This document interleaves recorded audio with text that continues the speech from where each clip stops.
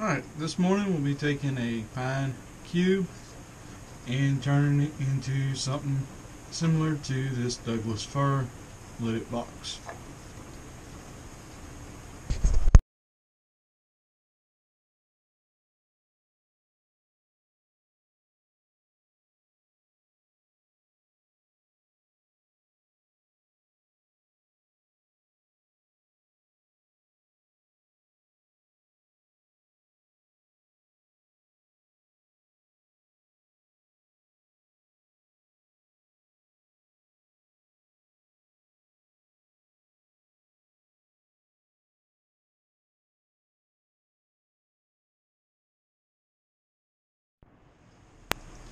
Alright, the cube has been roughed down into a small cylinder. Now going to put it in the chuck and get ready to part off. I typically turn the lid first and then the bottom of the box last. So, let's use my smaller tenon for the lid. Lightly put it in, bring tailstock up.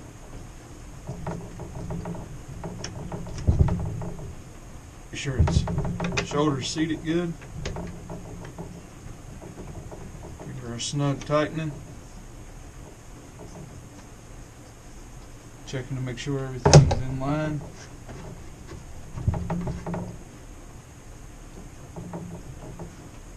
Oh, safety glasses.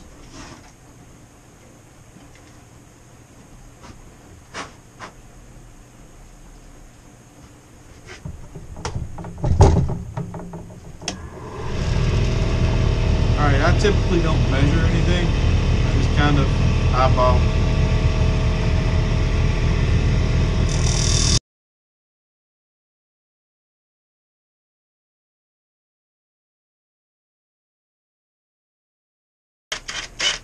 For me, it's quicker to just grab the cordless drill instead of putting the Jacob's chuck to make my depth hole.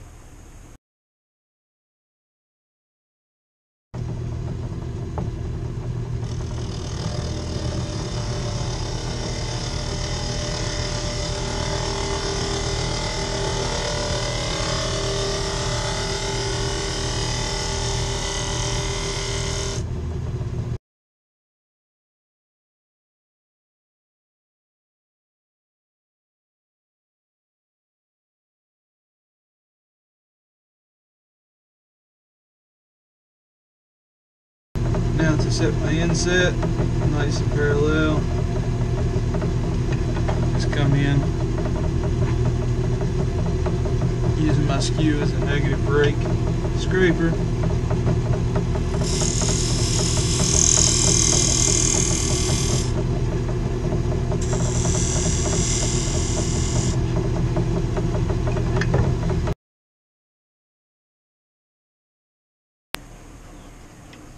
Okay, still have a little bit to go.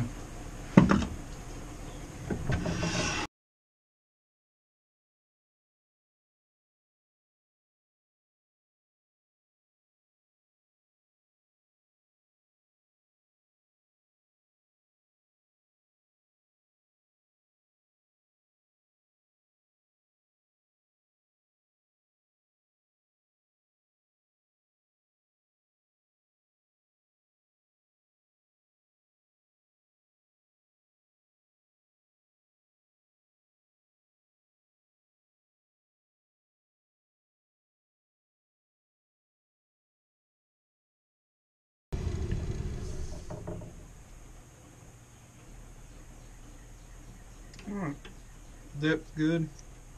I think I'm going to go back and add a little bit more to the depth of the lid seam.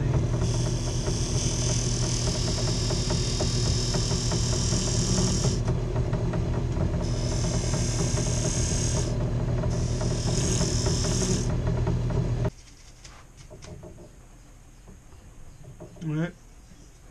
Happy with the finish off that last pass.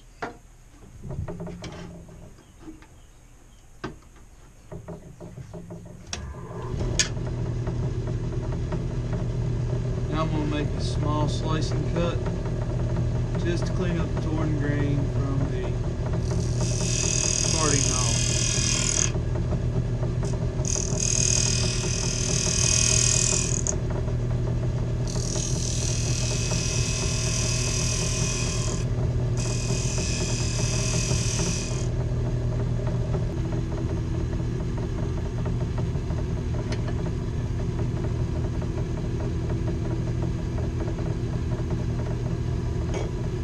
Make sure everything's locked in. Now never let this point touch the wood.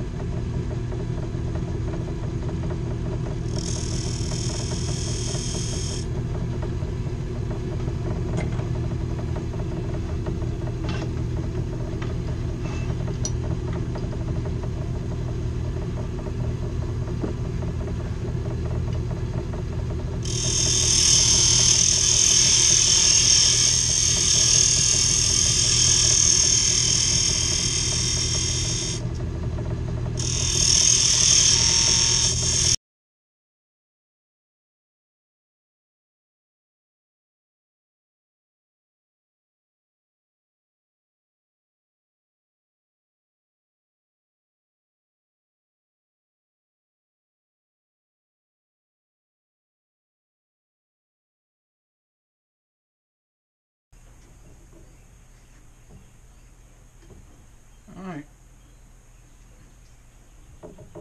Fits pretty good. But I'm a little too tall there. I need to chuck this back up and go deeper with my seat on my rim. Or I can just turn that off a little bit.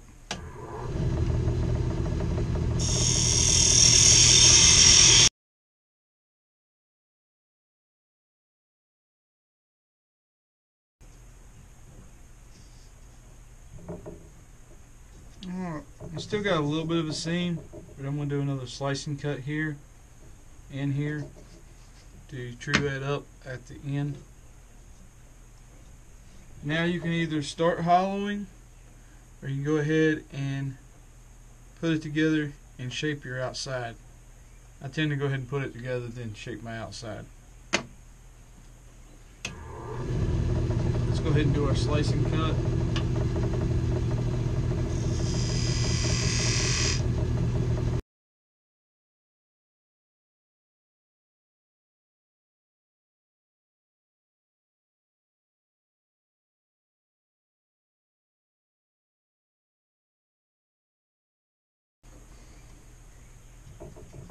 Alright, perfect fit.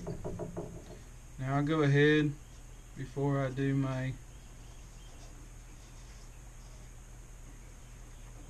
shape of the outside of the box. Go ahead and match up my grain best as possible.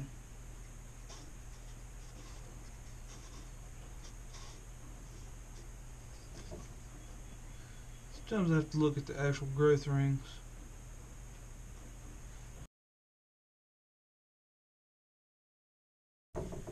By going ahead and matching up this grain,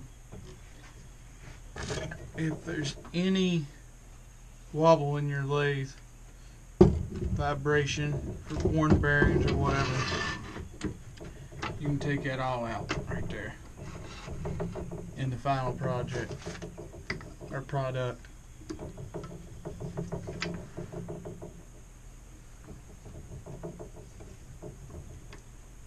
Is just a little wooden center that I put over my cup.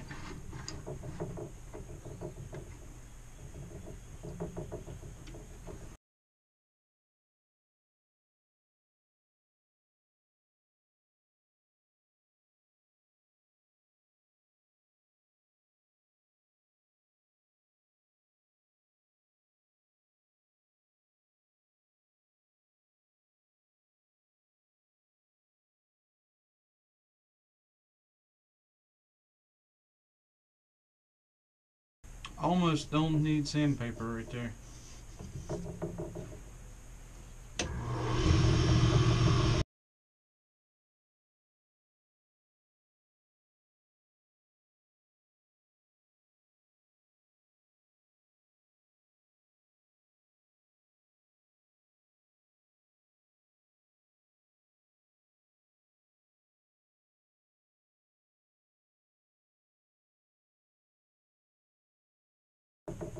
No matter how good I try, I still cannot get a flawless finish on the cut with the spindle gouge there. So I go back to the skew, do my final cut, clean up any torn end grain.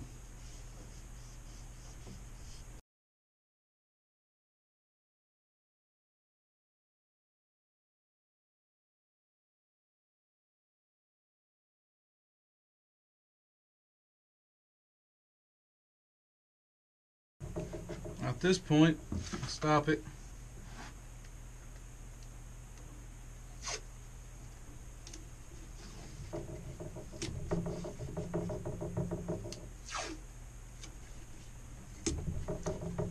A little bit of tape to hold the lid on. Actually pull the tailstock back out of the way.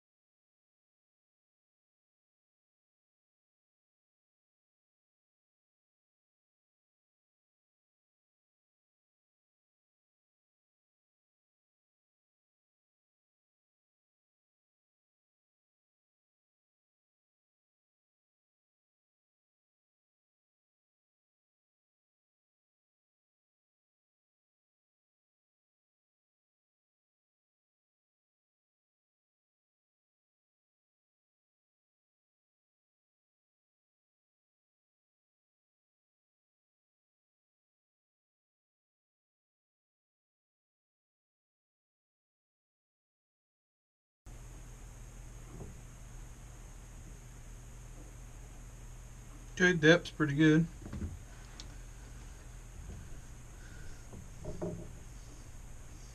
Got just a little bit of torn grain.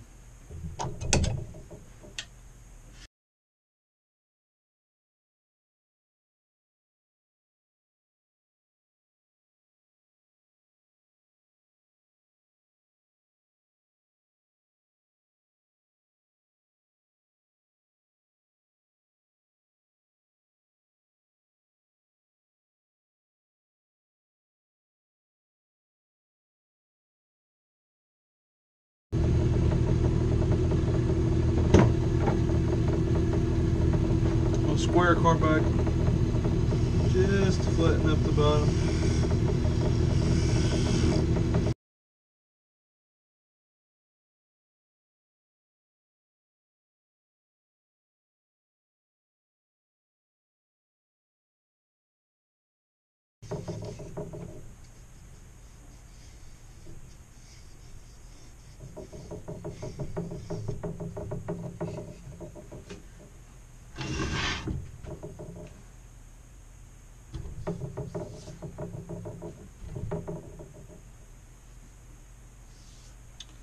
Here I go, laying tools down again, not putting them back where they belong.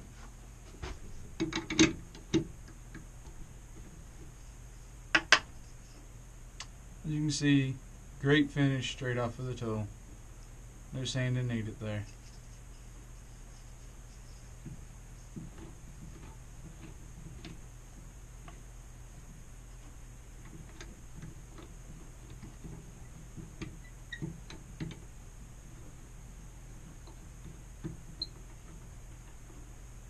So what I'm going to do now is use this lip pretty much like a tenon.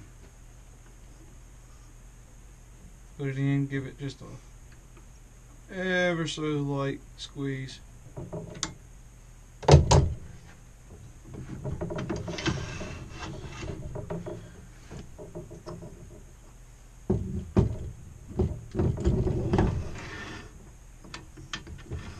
Bring my tailstock back up.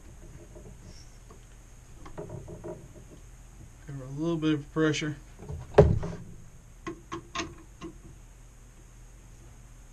Just a hair bit more squeeze on that lip. Don't want to squeeze too much or you'll crush it in.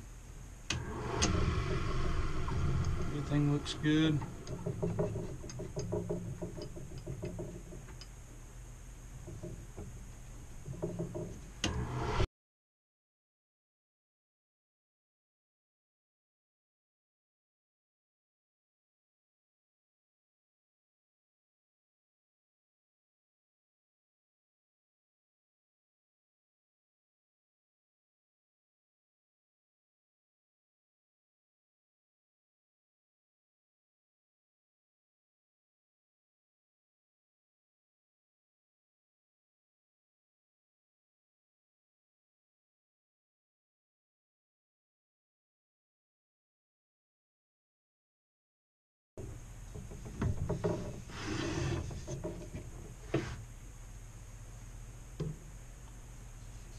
Make sure got a little bit of a belly in there, a bit of undercut.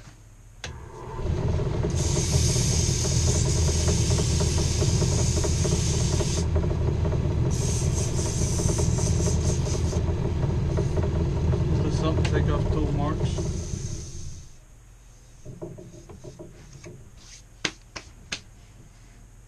This one we're going to do a little beeswax finish on.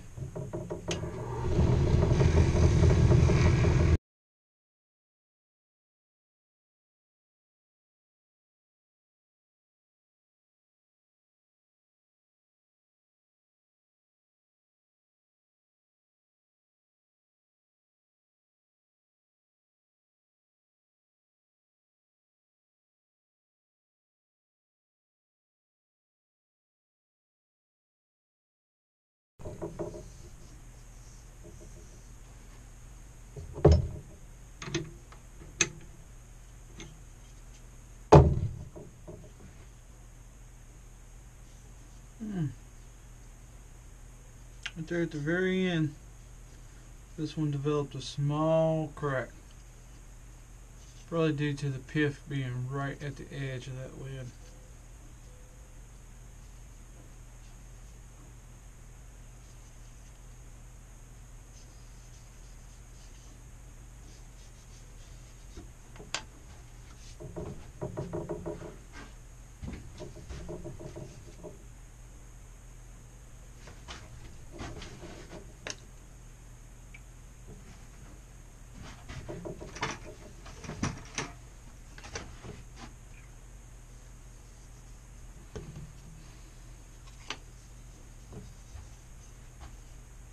Little thin CA.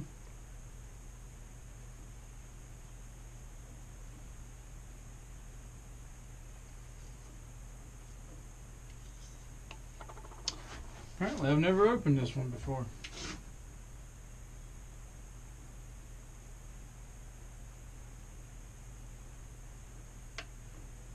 Ah, I